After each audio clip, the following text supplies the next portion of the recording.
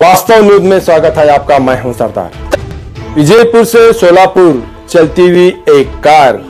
अचानक से आग लग गई और कार के सफ़र में रहते हुए लोगों को कुछ भी नहीं हुआ बाल बाल बच गए।